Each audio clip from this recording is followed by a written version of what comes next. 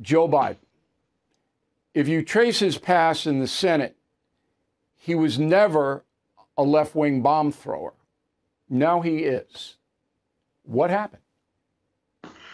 Well, I think there was a Faustian bargain made in that 2020 primary race where they had all of these extremists, uh, Buttigieg, Cory Booker, Elizabeth Warren, Bernie Sanders, etc., and they were all felt to be not competitive against Trump.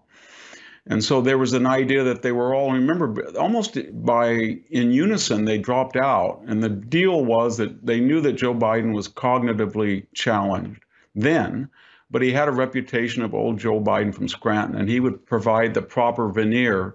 But in exchange in that Faustian bargain, he was to outsource major appointments and even policy directives to the team that had been around Barack Obama. And I think that's what we got.